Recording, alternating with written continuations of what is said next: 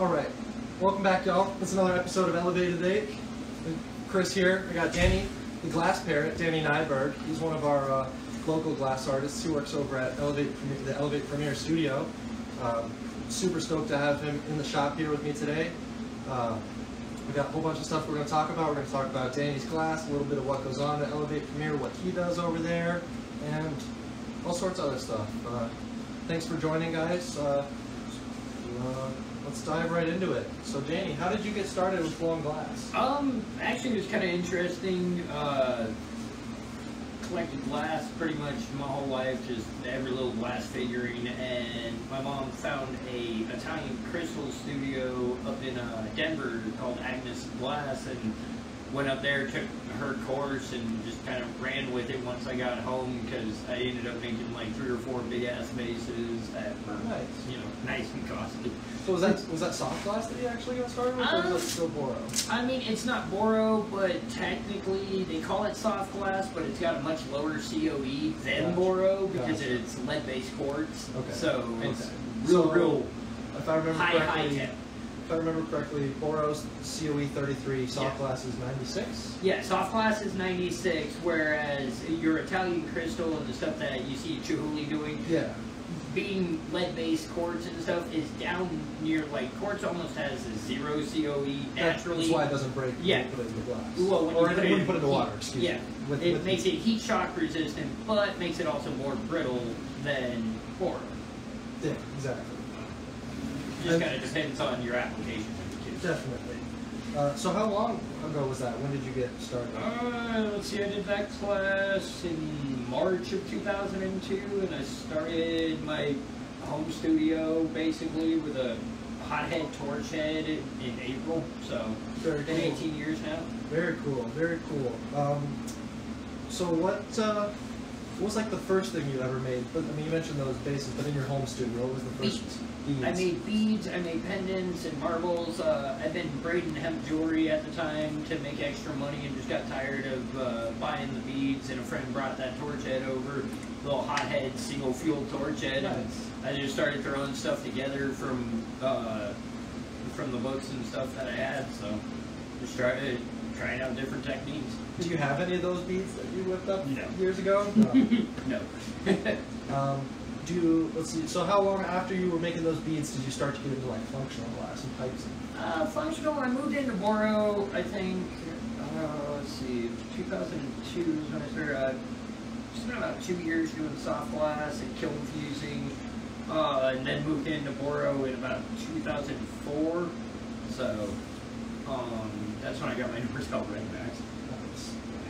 Um, where did you uh, get your inspiration for your work? Were you uh, just Uh, trying to like do things by the book first of all, or were you doing more experimentation? Well, I mean, when I first started, there wasn't books. There wasn't.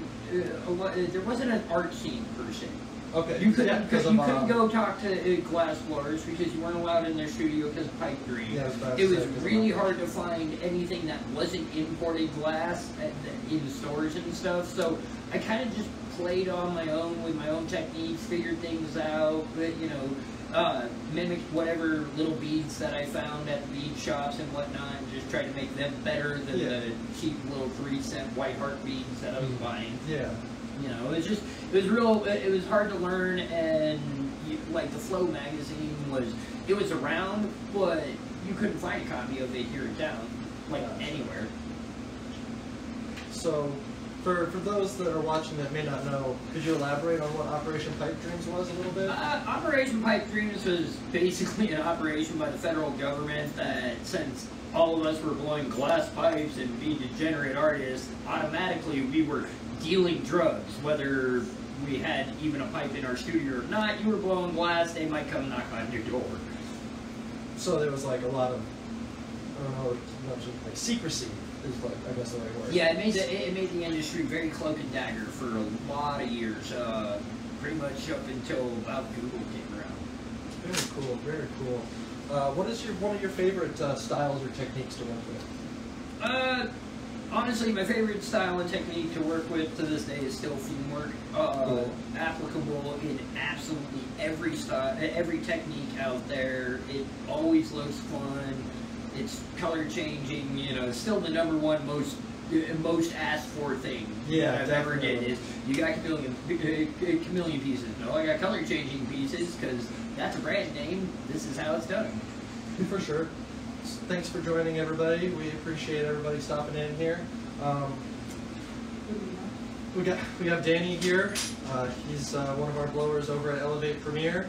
Uh, how long have you been renting space over I've only been there uh, since about let's see, about March, April this year. So when the world shut down. yeah, pretty much. Um, cool. The world came to an end, and I found a great spot to go work Yeah, at. that's cool. No, we, I know we, we appreciate having you at the studio. Uh, I know one of the things that you've been working on is tiers and making knobs for our vaporizers. Yeah. You know, tell me a little bit about that. I know I have one right here, this little black and white knob. This one Danny pointed out to me on the shelf that he had made.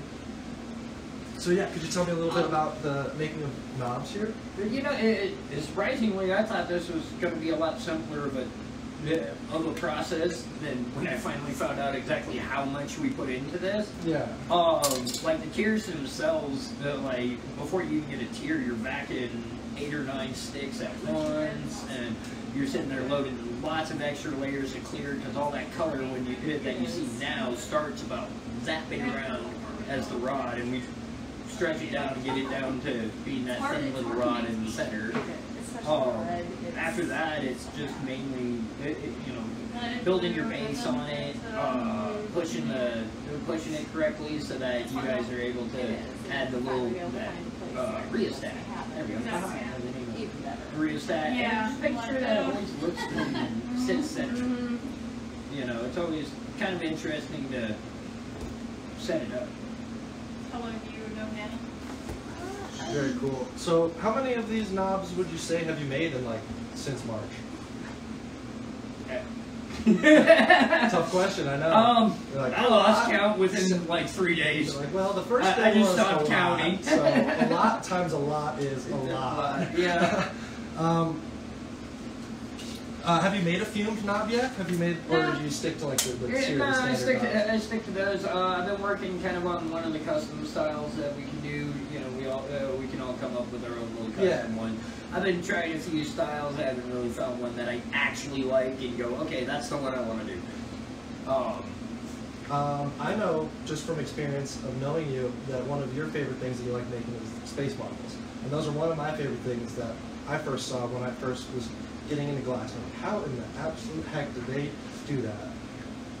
So how, like your space marbles, could you tell me a little bit about those, like all the work that goes into those? Um, it's actually kind of cool. Uh, a lot of my uh, a lot of my space marbles, I don't do a single layer or just you know here's a planet in the star fields. I've uh, over the years I've, uh, I've learned to how to stack moons in there and then put enough separation so that they'll cause a orbital shadow in the sunlight when you kill the Oh, marble. that The shadow from the moon will pass across the planet.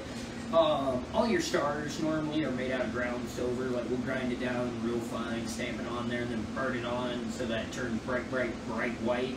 Gotcha. Um, you know, nebula clouds are normally a, a nice gold fume a little silver fume in it. You gotta catch it real quick because it'll burn out that quick before you catch it. Uh, with mine, I like to do multiple layers, and then a lot of times I like to back. Since most people put black to make it, you know, of course, a space, Yeah. you know, color a space and really make the stars pop. I'll flip that over and then I'll do another space. Uh, I'll do another star field directly on the outside, so that the back also kind of matches the inside, and that way, you, that way when you're turning the marble, it's still, it's not just blank uh, blank back. yeah, so you've got detail on everything, even Yeah. when you're not looking at the yeah, the meat of the marble. yeah. Um, how, how long ago did you start making those, and was that like a, did that take a while to refine Uh, that technique? Man, uh, I think the first time I ever did space scenes was probably.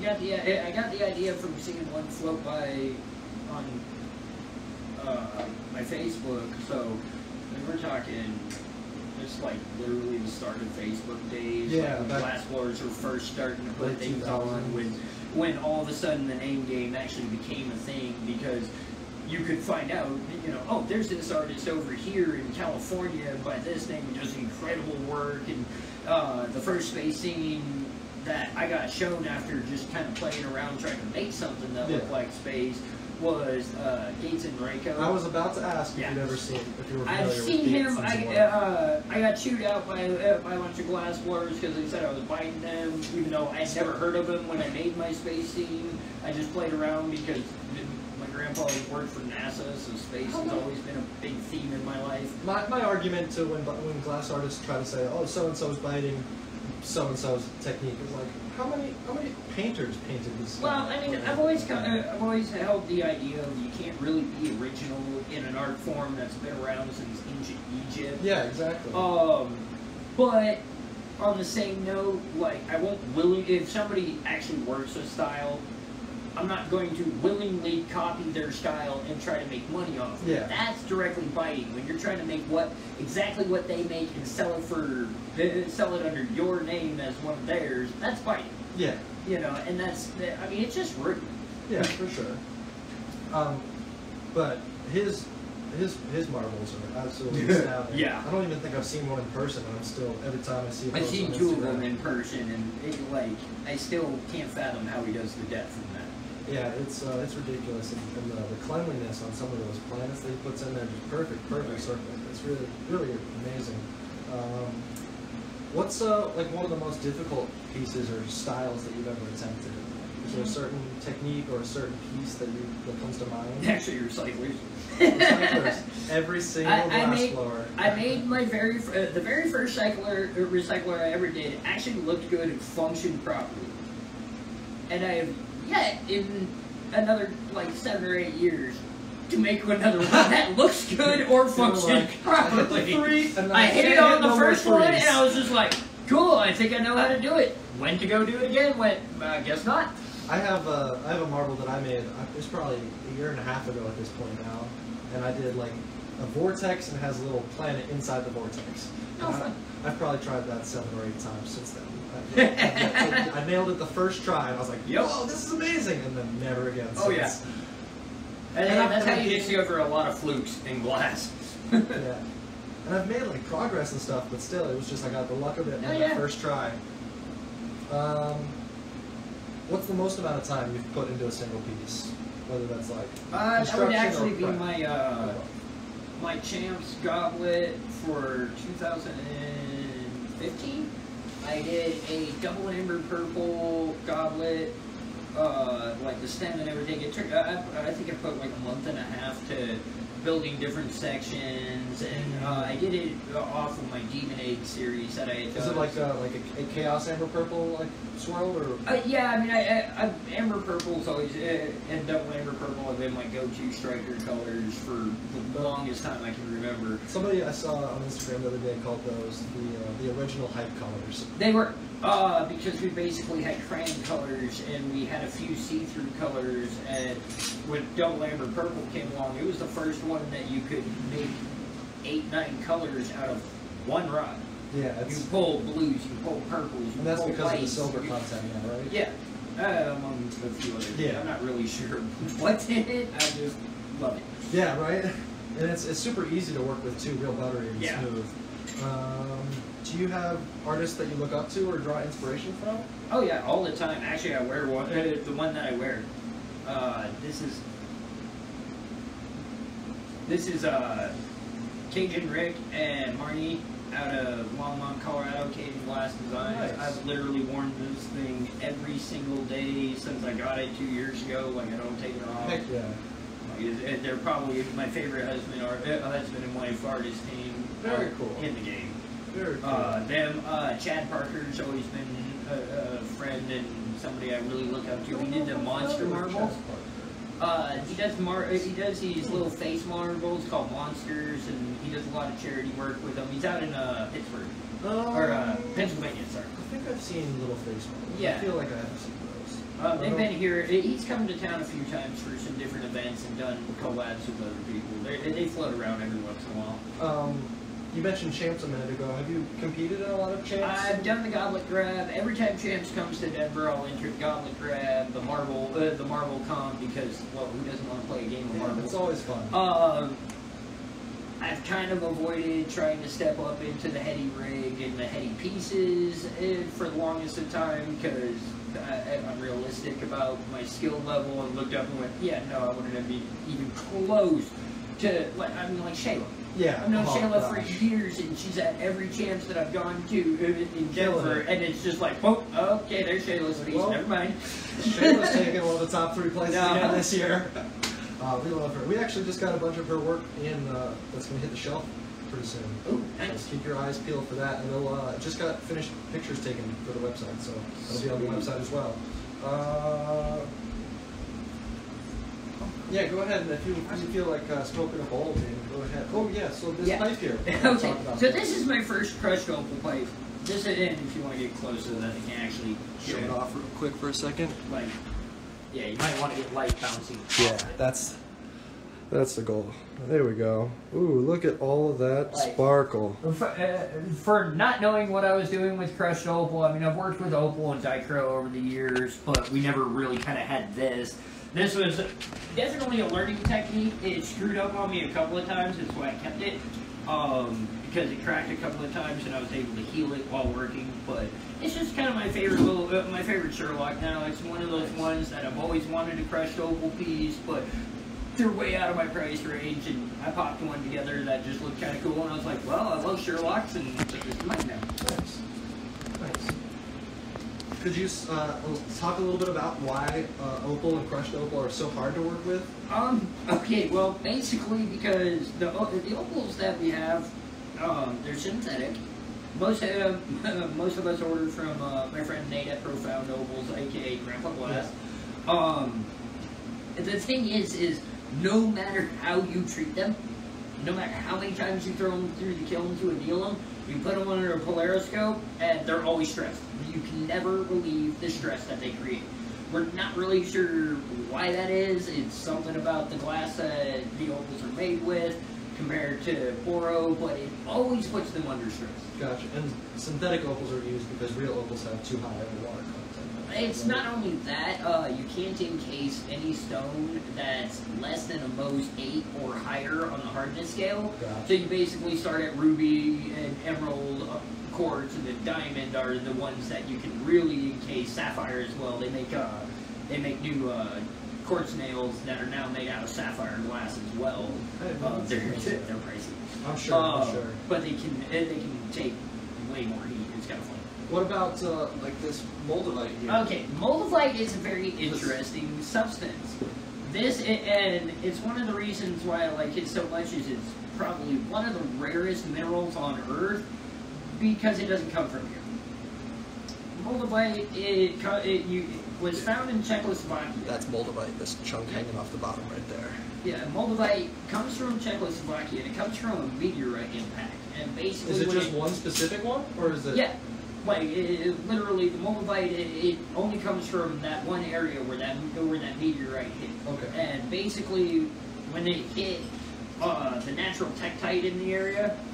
They uh, took a lot of the uh, heat and a lot of the different chem- uh, minerals that came off of that, and that's how moldavite pretty much is. It's a type of tektite, but it's not technically from this planet. It's an extraterrestrial glass, whereas your blue and your black tektites you can find naturally here. Those are and they do the same thing. strikes, correct? Yeah, they do the same thing. You can uh, you can sit there and uh, you can fuse them to glass, or you can fuse uh, few a few artists over the years I've seen use sculptures and they'll have big pieces of uh, tektite and they'll fuse the feet directly to it. That's cool. You know, little alien sculptures. Can you stuff. encase that, or would it just? You can. It, well, I've encased it before, and it just goes completely see-through. I mean, this is a Oh. gemstone. Yeah. Like it's an actual gemstone, so when cut and polished, they're perfectly see-through. Like the one that I put on here, this is uh, like it was a bit costly. It's a AAA flawless. It's 15 carats. Like I mean, it, at a store, at a store in a piece of jewelry, it's an expensive piece. Like even for me. Moldavite, Kate, Elevate Casey here, she said Moldavite's good to open your mind for lucid dreaming as well. Yeah. Uh, been used in plenty of dream catchers. I've had a few. Uh, I used to have a few moldavite pendants as well. Nice. Lots of energy from it. I, I always kind of wonder what happens when I'm adding fire to it because it glows a completely different color. Like That's cool. where most glass will glow that kind of orangish, to Yeah. dip orangish to red, it immediately glows yellow, stays yellow, but adds white to it. It like becomes more banana colored as it's glowing, and it's just kind of weird because I've never seen any form of glass like even quartz goes straight to white and just super bright when you Yeah.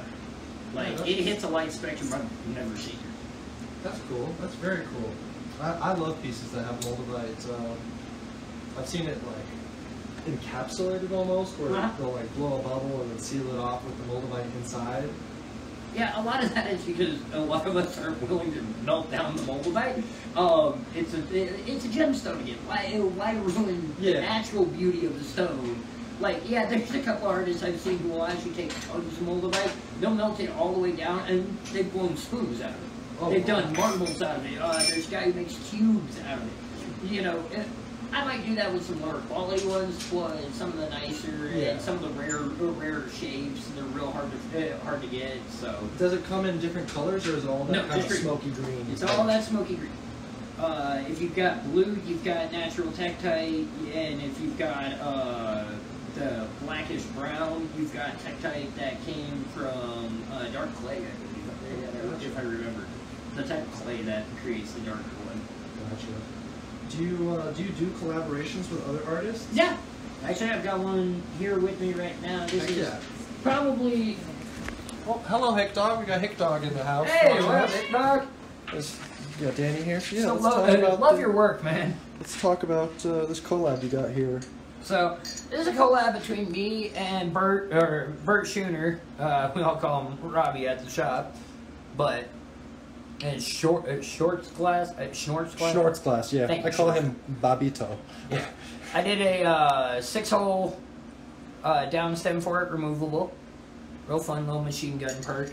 And then we both did sets of wags, like I did those and the yellow ones. He's did this and all the shaping for it. A real fun piece. And then the other part of the set is the Rob Lock. This is his design for a Sherlock, which of course, you know, I love making Sherlock, so this was guaranteed to happen. Um, and I did the lighter color wags. He did the majority black wags on it, and I made a little cube out of some of the tubing. And then, just for fun, since I had a little tubing left over, I made a uh, bubble cap that goes that matches the down stem and the top section. Nice. So you said you made this uh, this solid cube here out of tubing. How do you get the tubing to I go solid? air out of it. Nice. I mean, it, like, I, I wish I could say I did something really fancy or some cool little trick, but no, I just sat there and straight sucked the air out of it on my own, just manual style until I had it solid. Very cool. Did you wag- wag it up before it was hollow, or before Yes. it was solid? Yes. Gotcha. I, I wagged it uh, way before it was solid because once you have it solid and you try to wag it, it doesn't wag. It just kind of smears your lines in Ah. different directions, spins them, and you don't really get the effect that you're looking for. For sure. Whereas if you wag it before, you can get the actual multiple terminations on it, points. with the reversals going. Um, all, all the effects that everybody's looking for. Do you have a favorite artist that you have collaborated with in the past? Honestly, no. I mean, I, I because of when I started in glass, like I'm just now getting to the to where I'm doing collabs with people. I've done a couple of bi mail collabs with Chad Parker. We've done uh, my Demon Eggs combined with his Monster Marbles and a couple other uh, ideas like that. But other than that, I really had never gotten the chance. I didn't really kind of leave my studio. I heard Because of like the, the pipe dreams thing. Well, I mean, uh, long after the pipe dreams thing too. I mean, it, that attitude of you know nobody wanting to share techniques or secrets kind of stuck around for almost Yeah. a decade after pipe dreams. It, it, until Revered Glass kind of put that uh, put that uh, the first YouTube videos up. yeah, the revered glass. Uh, none of that stuff, and nobody was sharing info. Nobody wanted to teach anybody. And then he starts popping those up, and the face group books finally popped up for glass. And so the glass artists finally got this chance to be social, to talk to each other, to interact and be colleagues. Compare and when, contrast their work and like. I mean, until uh, like most of us had never even heard of Champs. Uh, you know, or if we had heard of it, ne- we had never gotten to go to it because it was always in Vegas. It was always kind of random when it would pop up. You know, by the time you heard about it, it was like three days after Oh. it. You know, Gotcha. so the glass games were kind of a mystery to a lot of the, a lot of the younger blowers back then, and stuff like that. Sure. I mean, it just it, it is what it was. Uh, I really love how the industry has evolved now. Um, on some notes, on other notes, I get a little aggravated by it, but I mean that's just because I'm an old schooler, so Yeah. it's kind of hard to watch the things that you put a lifetime worth of stuff into change and become something that you didn't have a hand in actually helping change at that point. gotcha. It's just kind of watching your world evolve and either keep with it yeah. or drop out. Gotcha. You know.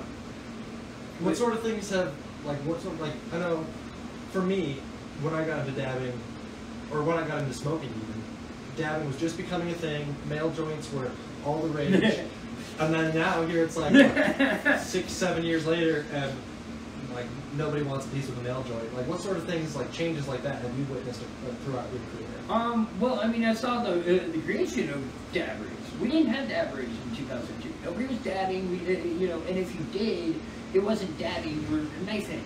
We didn't even have the uh, we didn't have the funnel and swing yet. Gotcha. We didn't have titanium anything yet. I mean, even when we first got our, uh, when we first started making domes and nails and stuff, we were using glass nails. We didn't have the cool little adjustable titaniums Yeah. from higher education. We didn't have anything of a quartz nail or even a, uh, you know, a domeless Yeah. nail. Those didn't come around for a few years after that. I mean, I've kind of gotten to watch what originally went from I got a funnel and a couple of knives sitting in my stove, which Yeah. we all did as kids to fucking smoke course. because there was no other way other than throw it on top of your bowl. Yeah. And so knife hits were a thing back then, and we got to watch that go from that to, you know, I'm sitting here hitting off of helixes and, and okay. there goes my earpiece. Whoops. I got it.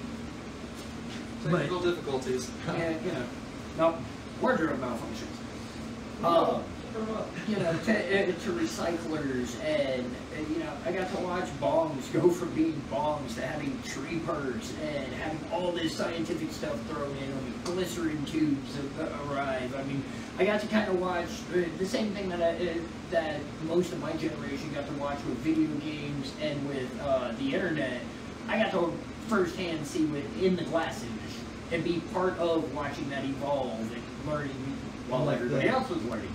I guess renaissance sort of of glass would be a, Yeah, the right word. basically, just kind of uh, uh, right after everybody, re- uh, right after Degenerate Art uh, uh, came out. I mean, that's when it- Fantastic movie. If you've never seen it, I believe it's on YouTube. Degenerate Art. Yeah. So good. Definitely. Um, and, ch- and check out Flame Worker as well. That's Flame Worker. Uh, that was I've seen a that one. documentary done about five years ago by a guy named Adam Sims. He went around to all of our studios all over and filmed us. I mean, uh, well, I'm in it. Um, gee, there's a whole list of the Colorado artists that are also in it. Uh, Pedro, I mean, uh, Black Bark Glass. Oh, uh, he lives in Arkansas, so we know, but he moved from here. But yeah, no, he, he was there during that time, and it was kind of fun. Very cool. Um, It was really fun to show what the industry had become since the degenerate Oh, art. yeah. Here we are now, you know, a lot of us being, you know, professional style studios at home, you know. It's not this big taboo thing. Or, and then like events like Champs in Las Vegas are not one convention center room, but like three. It's yeah, incredible. they get bigger and bigger and bigger every year. It's it's pretty it's pretty wild. I was Yeah. out in Vegas this past January for Las Vegas, and I was it was, it was, it was January, it was the end of January. Yeah, Huh. Champs was February. and Oh, yeah, that's right. January. Yeah, um, but yeah, it was it was mind blowing how much incredible glass there was. Just the quality of the glass, like some of the things that I saw there were. Yeah. It was yeah. It's you where, know what it's I where mean. the glass blowers go to drool over things. Yeah. It's you know, we walk around all-star going, game. I think I want to, Yeah. I think I might put a down payment on that piece. Uh, that one will cost me a house. Yeah, yeah, it's like it, it, uh, the first age that I went to, which was Age Denver. I come around the corner and there's this Joe Peters coral reef rig. Stands this tall. It's two hundred fifty thousand dollars. It's fully detailed. Some like fifty some odd animals and coral types in it. And I'm just like, just like like I'm like that's a specific species of Houston fish. collab to boot, and it's just Yeah. like, well, damn. Oh, shit, like I have twelve dollars. Can I please have? Looking up, going, you know, that's 20 years down the line for me here. Yeah. Um, Maybe one day. Maybe one day. Yeah. maybe at Joe, that skill level someday. Joe P definitely constructs some Oh, dude, amazing Joe, Joe's off the charts. works of art. Speaking of like big name blowers, do you have guys that? Or did I ask you that you Yeah. draw? Oh, sorry. I'm totally. I apologize. Um, so, are the knobs the only vaporizer part that you do? No, With, uh, uh, I work on heater covers with them. I help make wands, uh, and a bunch of little parts for the SSVs. Gotcha. Yeah, constantly. Uh, like I've been learning, like these guys right here. The heater covers? Yeah, I help cut. uh, You know, I help get them finished up and ready to uh, ready to be put on all the vaporizers and whatnot. Uh, pretty much all the styles of the heater covers, including the old school, Yeah. the old school BBV ones. Yeah, we got a couple of, uh, what, four different. Yeah, it's technically three because the, the standard ground glass is the same as the, the DVD. Yeah, we Yeah. got a few different types of heater covers, and they all have uh, like frit in them, don't they? Yeah, sure uh, some of them do. Yeah, uh, of course, other than the DBV, it's Yeah. it's the old school clear one. Yeah. Um, like, I- mean, I, I help do basically anything they want. Like, I help make dab straws now. I, I help, you know, uh, just any other little parts that they can teach me. It's always anything you can do to practice your fundamentals again and again and again, which is basically proto of any sort, is just, it's always good. You, you, you never practice your fundamentals enough. Yeah. Like basketball. Back, not to draw Yeah. back to the same analogy. Actually, no, that actually works quite well. I mean, If you're out shooting hoops every day, you're going to be making shots in the game. Yeah, if you're sitting there, ma- eh, you know, practicing that seal a thousand times, you'll get that seal a lot better on the head of your piece. Yeah, exactly. Because our, our vaporizer parts are just a few simple Yeah, applications and techniques, but if you take those, you can apply them to Everything else anything. you yeah. And that's the beauty of practicing your fundamentals. Uh, so, do you like working for Elevate? Oh, yeah. I'm I've been not having to throw a you right blast. under the bus. And No, on actually, Elev8 uh, Live, you know, I've worked at a couple other studios. It, it's always been a little hard in the industry to get glass blowers together because egos have a lot of hard time Yeah. being checked. And Glass it- blowers this are is the first shop too. that I've really seen that uh, nobody co- carries around an ego. They, they don't sit there with a chip on their shoulder like there's some bomb thousand dollar an hour heady artist that you know everybody there's got the, the same kind of motto proto pays the bills because proto pays your bills you know you can do the heady stuff for fun and make extra money but if you're determined to stay in this game you better learn how to do you know repeatable stuff again and again key. um, that and it's giving me access to stuff I've never had access to. Being able to work on a lathe, being able to sandblast my pieces, which has now become kind of regular thing for a lot of the different styles because I can brand them now with different names. Uh, I can put logos on stuff that I've wanted to put logos on for different companies for years. Um, I've created my own. Uh, uh, these guys actually come directly out of the studio. Nice. These I was just playing around trying to come up with an idea, and these are called my painter's blocks. Uh, I've got full color ones like these, and then I also have uh, sandblasted uh, clear ones that just have color on the tip, uh, the tip and the uh, collar of the paintbrush, but they work perfect little kickstand. Yeah. Make sure that it never falls over. You know, always looks fun and unique. Oh, and there's a there's a sandblasted one Yeah, right there's there. a sandblast. That one's done with a Alaskan Night. nice. That was I just kind of playing around with some of the muddy striker colors and see what happens when I sandblast them. Since there was a lot of stuff that I- I realized I blasted one of the mom cut colors and it came out looking like walnut wood when I was doing it. I was just like, okay, Sweet. so we're gonna start playing with striker colors and seeing what happens when I take them to the sandblaster. Happy accidents. Yeah, well, I, I kind of want to see if I can create a psychedelic wood effect with red exotic or blue exotic, just kind of have some fun with them. Yeah. All the colors that I never really liked using because I could never get them to come out looking nice. Now I've got a new way to play with them. Do you do any other art besides just glass? I mean, paintbrush seems like Uh, I it's draw. painting well. I like to draw a lot, um, but beyond glass, I'm a, I'm a 35 year veteran gamer. I've been playing games since 1985. Uh, like I'm a collector as well, so most of my time is spent, you know, either gaming or uh, my number one art that I love to do, and I've been doing it since uh, since I was five, is photography. Uh, my mom was a professional photographer for a couple of the colleges here in state, including uh, PPCC here in town. Uh, we had our she had her own dark room for a long, long time, so I was trained on 35 millimeter film. That's cool. And you know, not only black and white, but how to develop color, all that stuff, and then got to move into the digital age. To like, I've got pictures up on some of my albums from years ago that everybody's told me send that into National Geographic or something, you know, because it's just kind of fun. I, I don't really do it for anything more than I like to take pictures. That's cool. And I like to photograph like boys. Love that. That takes a lot of patience. Quick sidebar. Uh, two days ago, I was pointing at the sky, talking about how we hadn't had as much lightning this summer as we had last summer. I point up at the sky and go, yeah, like right in this, immediately, lightning bolt, right down, like at the end of my I finger. I actually agree with that. It was- uh, it was I have incredible. Not seen, uh, I haven't had a lot of chances in the past few years to catch. Like uh, I had album after album that it, this year's lightning bolts and fireworks shows, this year's lightning bolts, da, da, da, da, all the way down. And there's like been about a five year gap because I'm lucky if I get one or two good lightning storms a year Yeah. now, comparatively to years back where it was just every we'd have lightning storms heavy. you know, heavy rain, heavy lightning, and it's just not around these past few years. yeah, it's, it's a little weird. Um, so I noticed you do have a couple of Grateful Dead tattoos. This is something I really tried to wait until the end to talk Oh. about. But did you ever go on tour, follow the Dead, or No, I didn't get to follow the dead. I did get to go see uh, one of the last shows at Fiddler's Green uh, back when I was about 12 or 13. Oh, nice. I got to see Jerry live, like actually play live, and That's a cool Yeah. card to be able to put in your wallet. yeah, I mean, it was a, a great, a great, cool little thing to see. So. Yeah, definitely.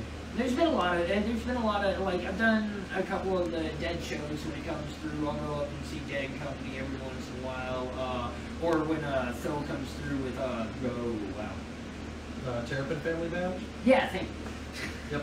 Brains Uh, function. It's been a long day. Do you uh, do you ever like set up on lot and try to sell your glass on Not- on those? Uh, not up on lot on that. Uh, I actually have a couple events that I do set up uh, regularly at. Um, the one is Bournemouth on here. Uh, the other one is uh, a lot of the Manitou events. I grew up in Manitou, so Oh, nice. I'll go set up at their events when they have them. Um, and uh, my favorite place to set up, honestly, is farmers markets.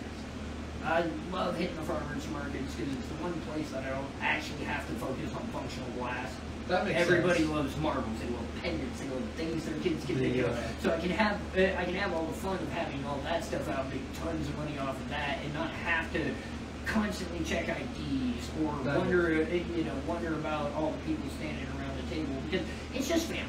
Yeah. You know, Yeah, it's it's families and, it, you know, every once in a while, a few individual people, but they're at a farmer's market. They're not, you know, sitting there being stupid and getting high. and Yeah. Da, da, da, da, you know, partying next to uh, next to a table full of glass. Yeah, exactly. I see a re- on a regular at a lot of events. And I'm like, scoot, scoot that way. Yeah. I, when I was You've been Vegas, drinking. I don't trust you. Please step away from the table. When we were out at Las Vegas. There was, uh, you know, those scooters that they have out in Vegas. Trust me, Somebody I heard crashed one right into a right into a table full of glass, and oh Uh-huh. man, I heard it from across the room.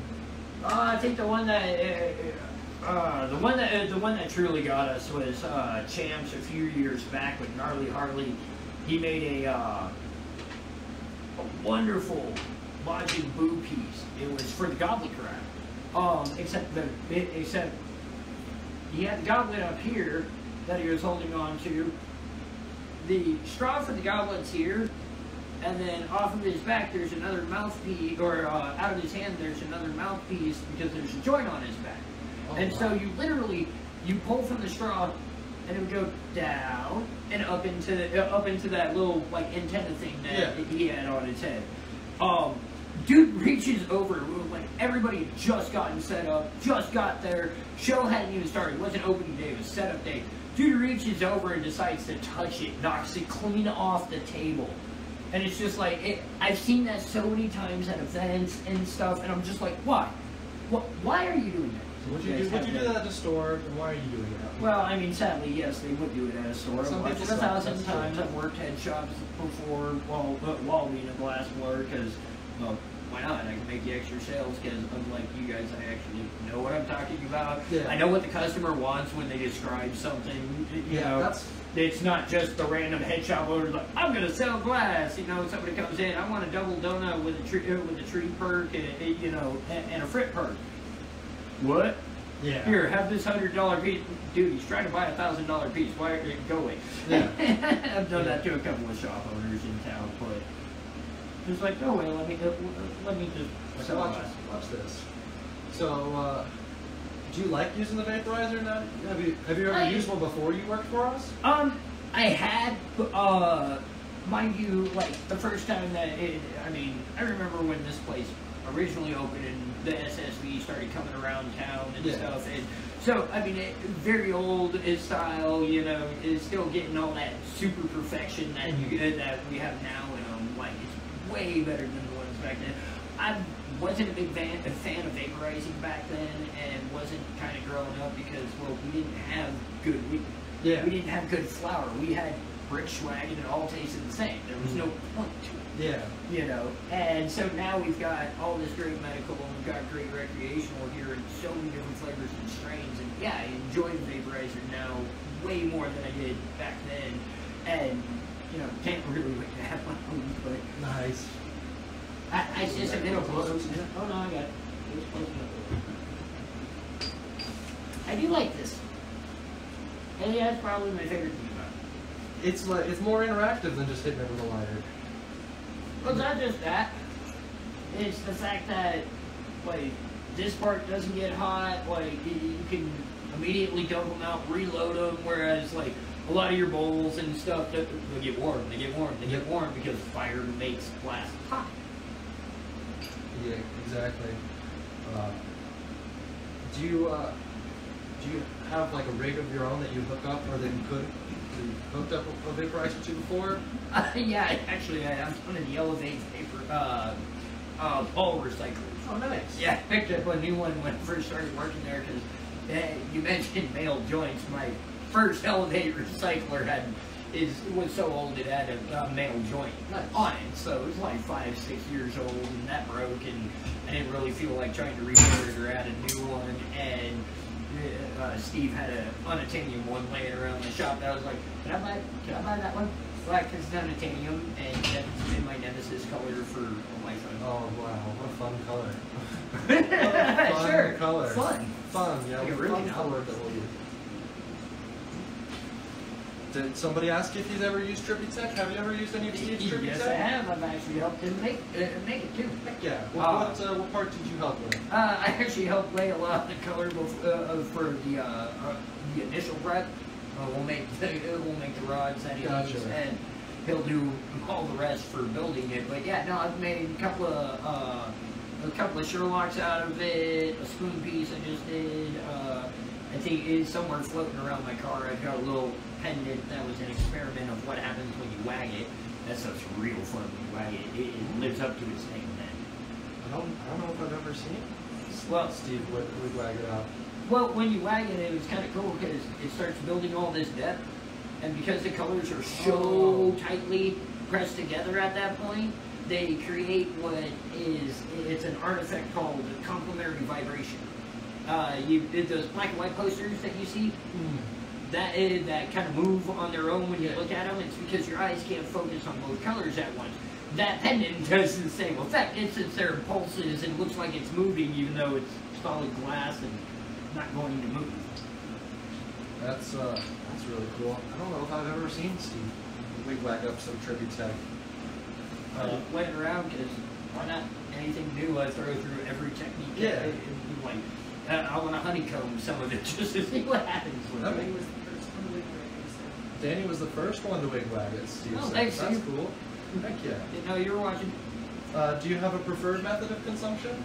Uh, no, not really. Um, I've been consuming since God, so long, like '96. I used to. Oof. I don't.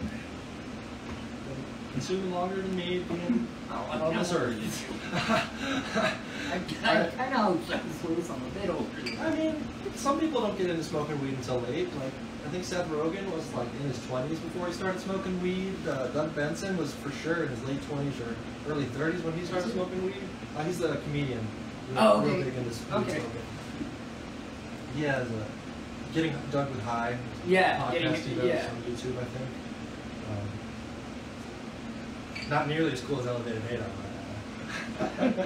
um, what uh, what can we look forward in the future from you as far as Um, actually, that's the uh, that's the one part I don't really know yet.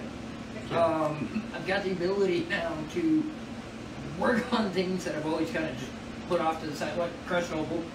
You know, it's been around for five years now, but I haven't ordered any. You know, finally get it and pick some up at the, at the studio to play around with it because now I have the ability to learn. I Yeah. have the ability, like when I when I come stumbling across something, I've got shot mates that I can ask questions that are Mhm. willing to answer them, that are happy to put, uh, to come over and hang out and you know show you and, stuff. and they're happy to talk about glass. That's Yes. one thing that I love about going over to the studio. Is, is I- I if we're not talking about absolute random nothingness or talking about glass, just leave because it's either non- nonsense, just Yeah. complete nonsense, or it's like real serious glass talk. Well, like, Either or. well, like, yeah, well, you know, I'm live yesterday on mine just for the fun of it, making the uh, painter's blocks for the website. Nice. And here comes Bobby cruising by and goes, oh look, holds up a thing and it shows this somebody putting wax in a Dramamine container and it, it's like, look, I found a way to get dabs on a plane. It- it- like, okay, random, but thank you. It was just great. It was uh, like uh, we uh, we'll say random stuff that uh, just to watch everybody kind of laugh. Yeah, that's it's definitely. Uh, Especially if it gets too silent in there. I, uh, apparently, we all have this problem with silence. oh, that's something I've noticed. like it gets quiet. somebody somebody's has to make a random noise. Yeah, somebody's gonna make like a like a Wookiee noise or, Uh-huh. or a screech or. Or we're gonna start screaming at our equipment or our glass. Like, all right, well, scream Yeah. it. I didn't want to do that anyways. What do you what do you see for like the future of the glass industry? Like, where do you see it evolving from here? You know, it, this is it, this is where it becomes interesting because I watched the China invasion happen. Hmm. I've watched China glass get better and better and better over the years, and now I'm watching as people are literally not able to order from China, seeing the mass amount of American artists that they have right at their fingertips in their hometown. Mhm. I mean, I went from one of, uh, it- I mean, let's see. When I first started in 2002, there was me, Nate, Carl, Andy, uh, DDK, DDK is also avant-garde glass. We had him on the yes, first episode. and that's a very good friend of mine. Please hit them up if you can. we loved him. What Um, and So- then uh, the chip weave master, Matt Carpenter, he was Oh, nice. actually here in town, and that was like it. That, that was all the glass blowers in town when it came to uh, making anything outside of kiln fuse or stained glass. Gotcha. Um, and now I know at least 40 personally, and I can easily guesstimate there's probably 120 in town, just in the springs. Wow, I mean, I know I know a couple of guys who just getting started. Uh, one of my clients is just starting to play around with glass, so and, you know he, they buy glass off of me all the time for their shop, but then they're sitting there just think, think, I want to start playing with it. I want to make things. guessed. You know, it, it, it. I tell people it's not an art; it's an addiction. Yeah. It, it's And, and I try to tell them, It's like so people don't believe me. But you can ask any of us. A lot of us have lost a lot of things to this art form because we refuse to give it up. I mean, and it's just it is what it is. it's so much fun. It's really one of the most fun things I've ever done. Uh, I love blowing glass. oh yeah. Um, well, shoot. I think That I'm, was a uh, good idea. by the way. I'm just about out of questions. Oh, we got some pendants Oh, over yeah. here that we can talk Okay. about. Yeah, I totally forgot about Okay, these. so I don't do sculpting. I never really have. And and these guys are my first kind of. They're my exploration into having i- into having fun. These guys are the first two frog head pendants, and they're little. Uh, they're supposed to be tree frogs. I see, got I see- galaxy I see tree frogs. Yeah, I got Galaxy Black. He kind of looks more like a lizard, but Is that uh, blue blizzard on the eyeballs on that one? Yes, blue blizzard, and then slime, and candy apple for his color. But you need sunlight to really. It doesn't show off that, that sparkle at all. Well, see- you just can't one really tell the you can't tell the true shade of the red Yeah. indoors with candy apple. When you get outside, though, it looks like metallic Cadillac red. Ooh. I mean, it's probably one of my favorite colors of, uh, on the planet. And then, of course, I have my babies. These are my hippie sticks. I designed these guys about six years ago. It's a dab straw that, you know, and they get out 25 mil. I don't like. I never really liked having the small tube uh, tube in straws. Uh, my fear was always snapping them in my pocket Yeah. because I sit down and I have stuff in because I like to wear JNCOs, so I'll have what's in my front pocket ends up under my hip. I've sat down and broke glass pieces before, and so I kind of came up with these guys uh, after somebody asked me to design one, and I've been doing them for six years now, uh, or no, actually going on eight years now. Wow, it's getting a long time on those things. Time flies when you're having fun. Well, I forgot that you know I I started them at my old uh, at the shop that a lot of the local people know me at, which was my uh, Jetwing house. Like I lived right on Jetwing. I had a sign and all sorts of stuff out for years. Just like basically ran a shop from home. You white label? Yes, actually, I do. Uh, I've just started sandblasting them. I do labels. I do custom logos. I've done three or four of my friends' names. Um, I've actually got ones that'll that say hippie stick on them, and uh, my friend Teresa at, at the warehouse made those for me. I love those stickers, by the way. And Oh. so while he's talking, what I'll do is if you've seen anything that you would love to see in your local stores, um, we do have a brand ambassador program where if you go into the store, they choose to buy, you can earn a commission from that. All of this stuff is available because Danny is one of our glass blowers. So if you want a hippie stick you want all your friends to have hippie sticks and paintbrushes, hit us up. We'll tell you how to go to your local head shop and get them in there. So I'll get you back here to Danny.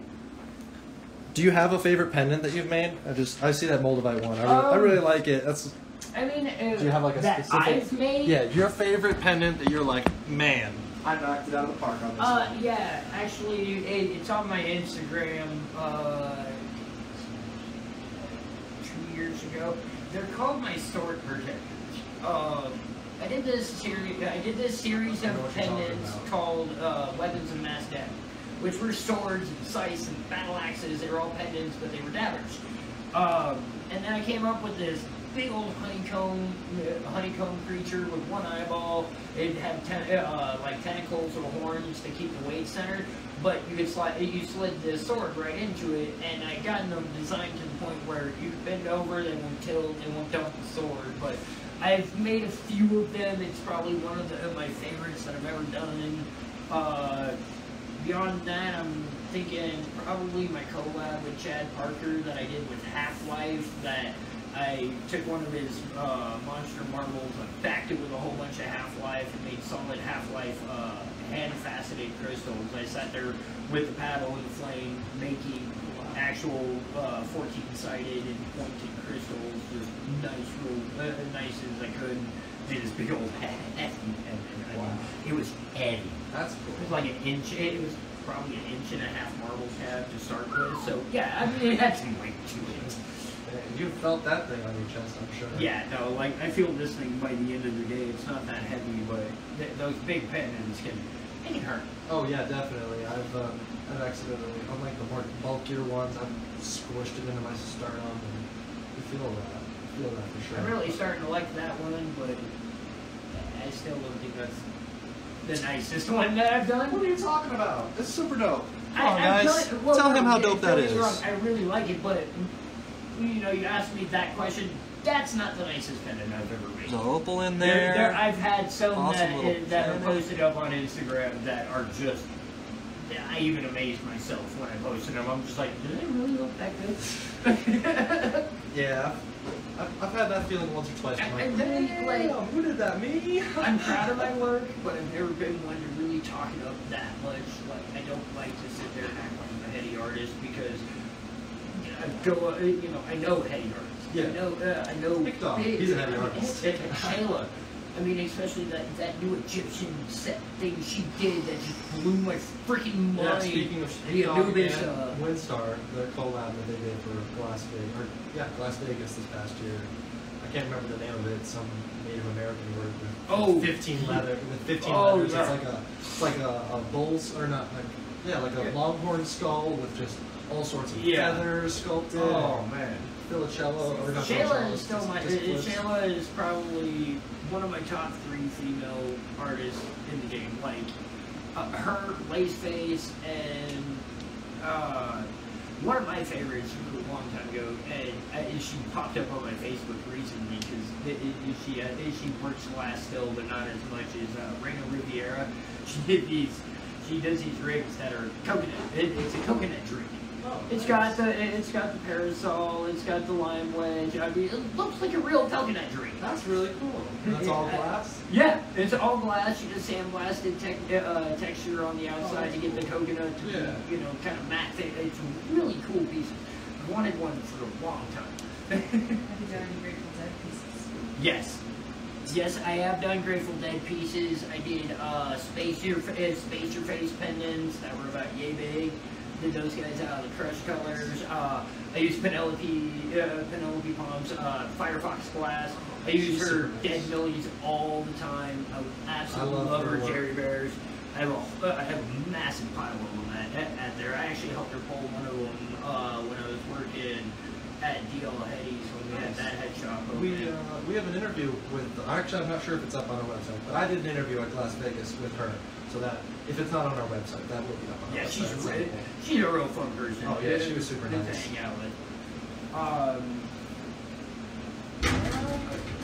you know, beyond that, I haven't really done any sculpted dead pieces or anything like that. I kind of stick to the pendants and Millie work with them, but I Gotcha. really love really the dead, like anything dead. They, they're the imagery that they use and the, the symbolism for that band. There's so much Oh, yeah. that it's so yeah. Like Oh, yeah, I've got a three bunch. four different things that are synonymous with that band just on, as tattoos. But yeah, that's one thing that makes the. I mean, that's where our scene came from was from the Grateful Dead, from Bob Snodgrass selling his pipes out on the, on the dead lot. yeah. It's uh, come a long way since then. Yeah. I love seeing pieces that pay, pay respect to Grateful Dead and to like where our scene came from. Uh, well, we're, we're about out of time here. I really appreciate you stopping in and talking with me. That was super fun. Uh, hopefully we can have you on in the future again. I It's- am, man. I'm always down to talk glass. I, it, it, it's literally I made it my life. I mean, I'm not just a boro artist. I can work in every style. I do Italian crystal. I do kiln fusing. Done stained glass. Uh, in college, I learned how to do some silver and goldsmithing so that Oh, I could set uh, set glass caps into you know Yeah. decent, nice high-end jewelry. Kind of want to get that part of my. That's uh, I want to get that going. I again. I really your miss it. Instagram? glass parrot. The glass parrot. It's all one word. we uh, I'll, I'll save it for next time. And thanks for joining, everybody. We really appreciate you uh, watching here with us. Uh, we'll be here next week. We have a giveaway that we're doing on Elev8 uh, underscore Glass underscore Gallery. This page that'll be next Friday. We're doing with Modified Creations. Gage Cool. Hamilton. Yeah, you know him. Oh, yeah. Yeah, we uh, we got a, a little. he works with one of my other favorite glass blowers one. Um, we have a little uh, pastel serum uh, eyeball, sculpted eyeball that we're going to be giving away from, from him next week. Wow. So you can enter the giveaway. Um, I'm good. I'll let other people get that chance. ooh, tea tree glass. Hey, how's it going? I like your work too. Um, yeah, so thanks everybody. We really appreciate it. Instagram's about to pick us off. Thanks, Danny. Thanks, Yeah. Teresa. Have a great night, everybody. Good See ya. night. Elev8.